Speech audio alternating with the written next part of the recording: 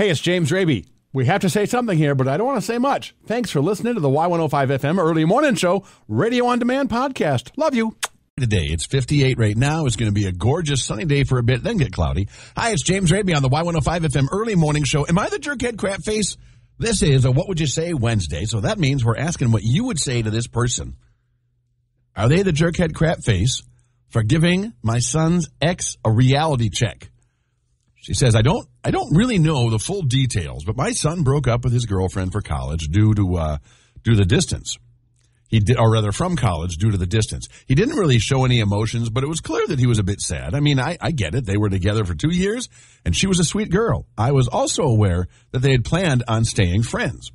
Yesterday, his ex-girlfriend knocked at our door. I let her in and she just, she just started bawling. Obviously, I comforted her and asked her if anything, everything was okay, and she told me she thinks my son has found a new girl. Oh, instantly awkward. Mucho awkwardo, as they say in France. I already knew, but I didn't know exactly what to say, so I just said, I'm, I'm sorry. But she kept crying and told me about how she didn't think he'd move on that fast and how he doesn't really talk to her anymore. She then showed me a picture of my son with the girl he likes. My husband was really uncomfortable, and my other son also had some friends over, so the situation was really weird. So, what do I say to that? I took her outside and told her, you know, I'm I'm sorry, but maybe you should talk to your own mom or friends about this. She's got really wide eyed and said, "You don't think what he's doing is wrong?" Oh, oh, that is such a hard situation to be in. Uh, the mom says, I just sighed and said, listen, stuff happens, but life goes on. You'll get over it. I thought I did pretty well considering the circumstances, but she began to cry even louder. She called me terrible and said she expected me to be more understanding since I've known her as my son's girlfriend for two years. If I can throw her away like this, then it's no wonder my son can as well. Oh, that's what I mean. It's hard, you know. She's still she's still in love with the guy, it seems. And he's moved on.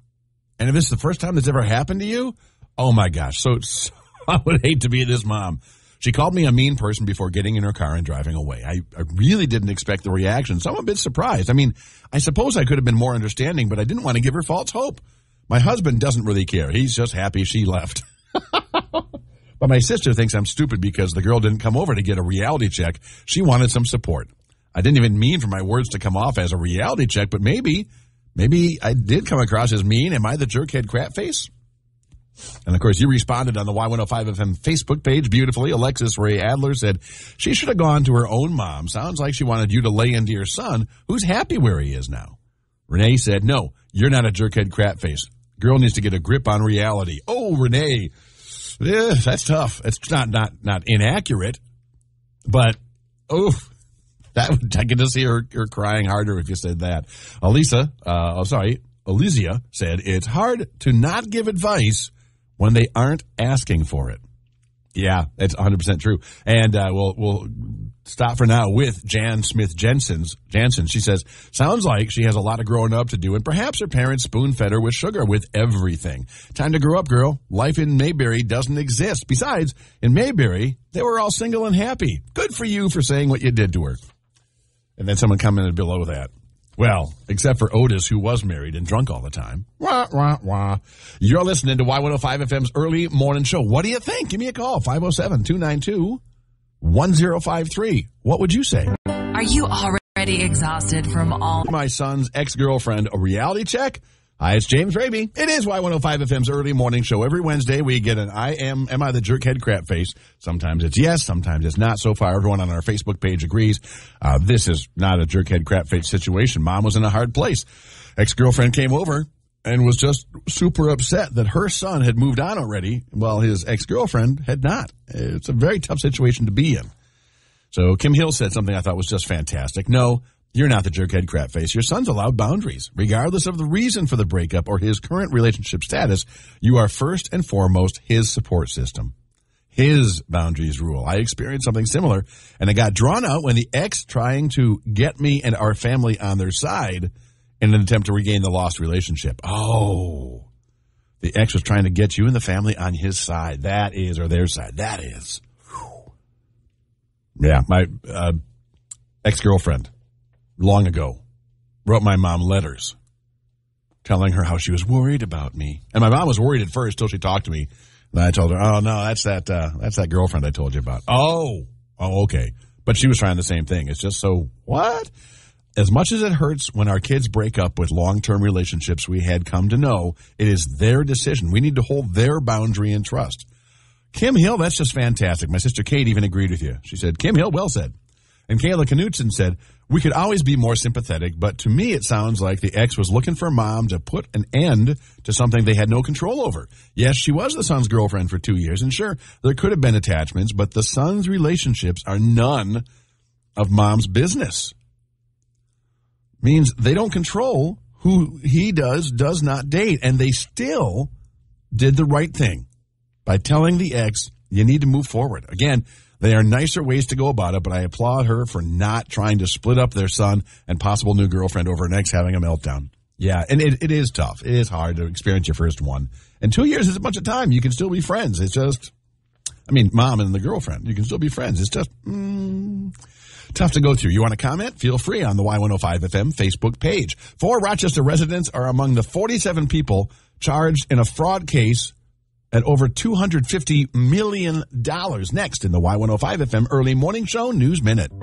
Are you already exhausted from all Rochester residents are among the 47 people charged in connection with what federal prosecutors have described as the largest COVID fraud case in the USA. Good morning, I'm James Rabe. This is the Y105 FM Early Morning Show News Minute. Do we have rain today? No, but there is rain coming up. They are in like 60 seconds. They are, or the rain's not coming up in 60 seconds. You know what I mean. I'll talk about it then. They are accused of participating in a scheme that defrauded the federal children's nutrition program by falsely claiming they are running meal distribution centers for kids during the pandemic. How much money? $250 million worth. Wow. See the Rochester defendants on the Y105 FM app. More stories you'll find on the Y105 FM app this morning. A Minneapolis woman was killed in a construction zone crash on Highway 52 in Goodhue County Monday morning. The victim of the 64th homicide in Minneapolis this year was a Rochester man. And the Minnesota Court of Appeals says the COVID 19 lockdowns were not unconstitutional. And the rabies shots. This is so odd, it could only happen in Florida. Florida. Two doughheads in the Disney state were craving Taco Bell and a 75 inch flat screen TV. They stole the TV from Walmart, jammed it into the back of their Escalade, and drove next door to Taco Bell, where they were eating their delicious Taco Bellness when the police came in and arrested them for theft. The best part? In the 300 feet they drove to Taco Bell, they didn't notice the TV fell out of their Escalade. oh, supreme doughheadery in Florida. Florida!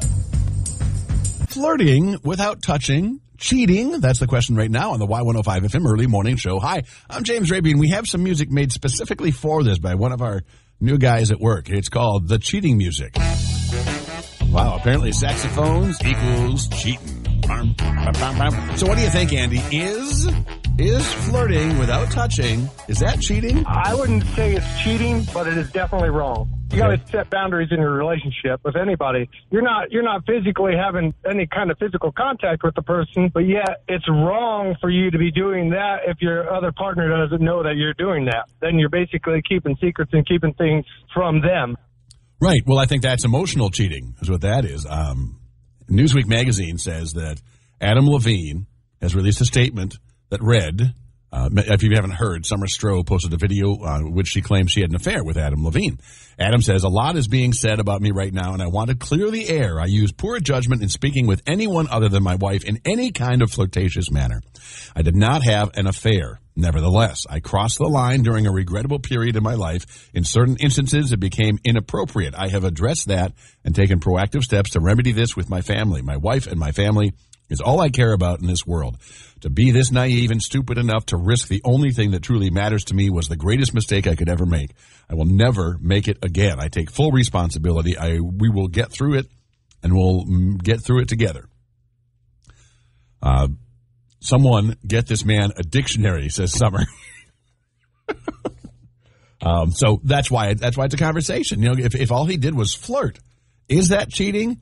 I well, let's go to you. Um, who's on the line? Barb. Barb? No, Beth. I'm sorry, Beth. What do you say? I've had it happen to me before, physically and emotionally, and I would say they both hurt equally the same. Yep. So yes, it's cheating, definitely. It's been three years going and it's still a work in progress. But we have four kids and he took accountability and, and that's just what has to happen in that situation. So Yeah. Well, thanks for thanks for calling in, Beth. I appreciate it. Now you got to get off your break. I apologize for making you hang out so long on the phone. It is Y105 FM's early morning show. It happened to me. Absolutely. You know, um, one ex girlfriend thought there was no problem, no problem, and not with friendly flirting, like just the pretty, you know being nice and kind of stuff like that. It's the ones where you are really putting yourself out there. She was being extra nice to people and was surprised that they all thought she was hitting on them. And I said, "Well, then you're you're you're cheating on me. You're emotionally giving yourself to them instead of me." And she's like, "That's not true." Like, oh, okay. And sadly, it took me like three years to break up with her. Woof. Bad news, bad news bears. It is Y105 FM's early morning show. The 8 a.m. all music hour kicks off next, and it's another chance to win the 30K at work payday. It's the Y105 FM 30K Word. Five, it is Adventures in Dating with Keisha on Y105 FM. Boy, that thunder goes a long time. That's a lot of thunder. Thunder. Anyway, if you missed this week's, I got it for you here on Y105 FM's early morning show. So I went through a whole phase where the only time I engaged in a conversation was using quotes from the Harry Potter movies. I can't wait to hear this. Go ahead. So I literally, my opener line to somebody was just troll in the dungeon. Thought you ought to know. And his response back, he goes, I'm sorry, I don't think I get the Dungeons and Dragons reference. I was like, that guy's not a keeper because he did not get that that was from Harry Potter. No, no, that's obviously, you know what that is? That is what I would call a uh, generation gap that cannot be bridged. Yeah. Well, and that was my test. I'm a huge Harry Potter fan. And so I was like, I'm going to see how many people figure out that some of these quotes are coming from Harry Potter. And I've had, I had some people that engaged in some great conversations, but that dude, I was like, hmm. He could have been like, hey, that sounds familiar from somewhere. And even if he had Google search, like it would have come up. It's a popular meme even. Well, and that's the thing. With the Googles available, what you had there was a guy that's not a problem solver. So it's good to toss Right. that back. Right? My buddies and I back in Michigan when I was learning radio, I was young, I was like 21, and we were all working in the same market together. We talked both in acronym and movie quotes so often I had a girlfriend get mad at me. in fact, one one really funny thing that happened with her, um, and I, I wasn't kidding when we talked in an acronym. You know, uh, hey, how you doing? We just use the letters. One time, we're doing that in uh, my friend George's place, and Lisa is there, and she says, "Look it, you guys got to stop talking like this, or I'm leaving." And I said something like, "W." And she's like, starts marching out, and she had a good march out. And as she ran, as she as she went to her car to drive away, I yelled, "CB, CB!" I love it. it is Y105 FM's early morning show. Never miss an episode by subscribing to Y105 FM's early morning show radio on demand podcast. Wherever you get your podcast, wherever you get that kind of stuff on your phone, just subscribe and it'll show up on your phone every single day. And it's just the, the just the words. Just the words, none of the music. It's Y105 FM. It's the Y105 FM. Doughheads in the news here on the Y105 FM early morning show. But today I got to take a break from it because I just I just came across something and I can't wait till tomorrow to talk about this. It's just so cool. It's on Spotted in Rochester and Christine McNamara said, "Huge shout out to the workers early in the morning at the Civic Center Kwik Trip. There's usually five regulars there when we go. Kelsey, Garrett, and I'm not sure of the other names. My three-year-old son loves stopping in the morning for yogurt or applesauce and chocolate milk before daycare. This morning, before leaving, my son wanted to say bye to Kelsey and gave her knuckles. She said it made her day and she wanted to take him home with her. Thank you guys for being awesome and amazing as always. I love it. I, and I know exactly what Kelsey is talking about. Sometimes the smallest gesture is just such a huge thing, such a day brightener. And I'm glad you shared that, Christina. Thank you so much for doing that. That's just awesome. All right, get ready for the Y105 FM 30K at work payday code coming up just after 10 o'clock with Michelle. The Y105 FM. Hey, it's James Rabe. Thank you so much for listening to the Y105 FM Early Morning Show Radio on Demand podcast. I hope you'll subscribe and tune in Monday through Friday between 6 and 10 for more fun than you can shake a stick at.